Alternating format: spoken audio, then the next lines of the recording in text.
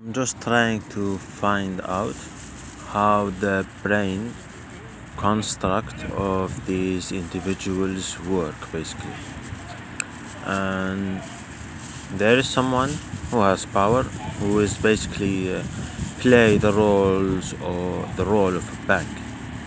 Having said that my bank is Danske Bank and their headquarters is in Copenhagen I try repeatedly, I showed up my work as well as a lot of other things. I have been in Linköping, I studied, I completed my studies. Uh, it was a rough period of time, but it started initially from those individuals. Like today, I met a police officer, I went outside, I had food, I bought this, and I'm coming back home basically. Uh, I never thought that uh, the hand offer of simple A7 or an A4 paper would be so demanding basically. And the nonsense coming from individuals. As I've said I've spoken to 1978 to 1979 to 1951 and to 1987 all of them claimed that they have seen no visitors there is no money there is no uh, there's no visitors no money no letters absolutely nothing. And this is go back to 2017 and there has been like a lot of feuds and a lot of explanation that are needed basically. I've asked the neighbor and i've asked most of everyone. Basically it's a pack of sexual perverts basically. I go here up until today probably one or two person spoke with me about a topic which involves energy and environmental matters. One or two people. All of them are just here displaying their unethical behavior, behavior that's drawn from Nazism, as well as a lot more. I don't know. I they it's like individuals who who plan mistakes and plan non-meetings and plan a lot of other stuff in order to allow a breach of uh, defenses as well as a lot of other things. And I've said it basically and repeatedly. I go there. Could you do? No. He needs to feel like he's the greatest person. They need he or she they need to feel that they are the greatest person above everyone and that also means allowing pedophiles, rapists, thieves, and killers basically to walk through the streets each and every day. I go, I knock at the embassy, I went to the Ministry of Foreign Affairs. Technically, when they do their work, what happens? They give the fruit of their work, which is my property, they give it to someone else. And when i have money they give it to the thief or to the person who have a sex house so that they build a third one. Not a second one but a third one or a fourth one. And it's everywhere so they don't talk. They don't share food. They don't uh, they don't have intercourse. They don't uh, want business plan they don't want to talk about environment. They don't want to talk about politics. They are not journalists.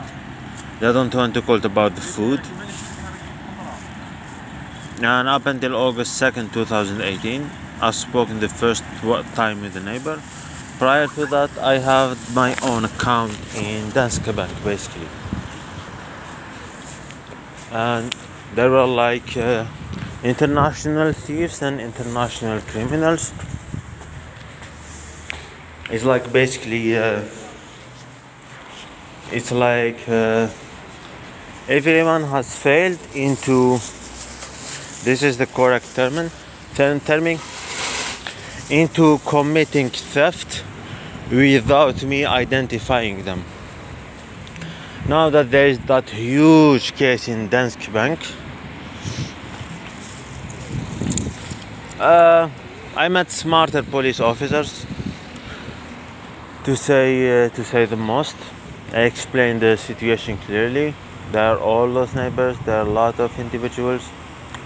There have been a lot of room to talk. And it's a big country and they pretend that uh, earning a job in this land must be done through competition. Uh, in the past, there has been actually those individuals who have uh, who have been displeased into me speaking with the political class, and uh, yeah, just people who are extremely bad and we are in here this situation and this is what's called an uh, country بلدان التخلف this is what it means a person has simply to hand over an A4 paper on A7 work together in time being part of a club or a society and being part of that club or society requires this. Everyone can easily, anyone can easily call the embassy and request for this person to travel to this location so that they can share his work with him. The person who told me that we shared your money with with companies and institutions around the country was sitting there. I don't know how this process works I'm not a communist and I don't know how this process works basically. Usually it's like a company makes money by selling their products, by avoiding uh, penalties and by uh, by avoiding penalties and by gaining uh, like uh, earnings through special or rare third uh, third sources or third income. And I'm faced uh, there has been like a, a, high level of childishness coming from individuals which were present inside of uh, of the Austrian embassy and in here the head of state meaning the president of the country during the month of May I wrote to him before that and uh, during that it was the Austrian ambassador in Tunis. These individuals, uh, nobody in the European Union or in the European continent went them. On top of that, the, the neighbors in here spent like the first six months or seven months uh, blocking 1978 while other people in the main uh, main area where I live people who work in 19 uh, yes and uh, it reached and on October 4th 2018 I've spoken so there's a lot of work to go around. What happened? There is theft. And when things reaches the not the head of state but the person responsible for that uh, the person responsible for the how to say the governor or the head of what do they give? Is like hey Chana what more do Du träffat människor... He doesn't speak Swedish. Or he left. And uh, yeah. Basically they have like a huge build up. So I look like this. So uh, there has been like a lot and a lot and a lot and a lot and a lot and a lot of things happening. I go back to special like uh, events and this go back to uh, the first half of January 2018 uh, the second half of February 2018 the month of no the month of March the month of April 2018 and there has been actually these individuals who are old enough and they keep on uh, behaving childishly, breaking the law, uncivilized behavior, as well as a lot more. Uh, there is like a look-alike who was basically interviewing like Taylor Swift, who looks like the a black uh, guy in uniform working in here. So that's a clue. صح وليد وش رايك بس بيان That's one of the clues. Now it's like it's 5, uh, 5 a.m. or 6 p.m. and they're basically these schizophrenic individuals. They're racist and they reached at a high level of basically assaulting like literally a monarchy. And uh, when I go and speak to the individuals, they don't react or they're in complete disbelief about what's going on. And if they're involved well i don't want to be part of any of that. So i called i highlighted everything. Uh, i remained as professional as possible. Uh, a lot of people would or some of them have been found guilty of at least a crime. And uh, well and just like to Austria I did not share my work with uh, any individual. And uh, I remember up until writing to the Austrian authorities I was going to embassies each and every day and then taking the train back and enter the house and sleep. And there has been the crazy person living at number 8 and people who had some geopolitical goals to achieve. And it's just like uh, yeah. There have been like a lot of thieves and people were saying you know the country was in ruin ruin at that period of time meaning like in 2018 or prior to that. Or in february 2019 having uh, this is a year ago having individuals I think who were basically who managed to block someone and they managed to do stuff because the biology of that person changed in an instant so you can notice it quite easily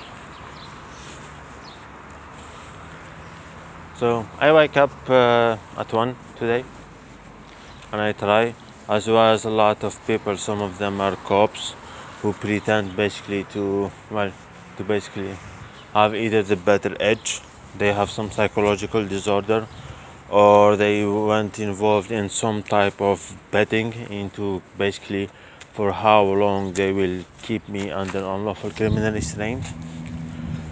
And they sit there probably the the prime minister well foreign leaders and uh, foreign institutions and foreign individuals. You know you're 20 or 25 years old or 30 year old man or woman they can just walk by hi here is your invitation letter hi here is your uh, but instead of that it's called kidnapping. And uh, there has been a lot. And uh, the people who are just like uh, under 40 who have like having like a midlife crisis it's actually it's never ending. And uh, as it was the same situation in sweden it kept on ongoing. And uh, yeah and i went there i stayed uh, yeah. There has been no reason to commit hacking there has been no reason to commit forgery and uh, you know i think your kid is dumb. They commit like the forgery or the paperwork manipulation or the electronic hacking near a military institution. And uh, like the head of uh, like the governor of the state he can't say anything about like mishandling or mismanagement of any income that arrives to me. They don't work even to work with me. I don't know. They uh, the only feeling of pleasure that they get is by seeing me not working, not in Austria meeting my friends, killing my killing children. Uh, yes, and uh, you know, as horrible as it sounds, but uh, I was living in Sweden uh, during the year 2017, 2016, and 2015. There was a mistake from their part. The mistake could have been corrected quite nicely on March 9th, 2018, when I applied to go to the to Britain. But all of those individuals exist.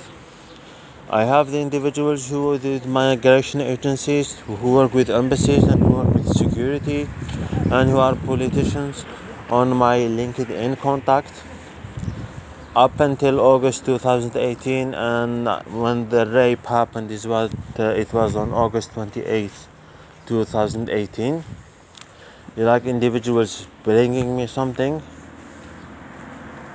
And uh, they get assaulted. And as I've said is the Cyprus situation. And that was in August 2018 when Sweden was still at the United Nations Security Council, and the person who looks like the son of An- Anders Fogh Anders Fogh Rasmussen was basically part of a group of people who were basically uh, assaulting females, stealing money, being part of a gang committing uh, organized crimes. And the little guy is kind of nice. He's an engineer, so it's kind of normal. And uh, this is all the stuff that happened. And we are still in this situation.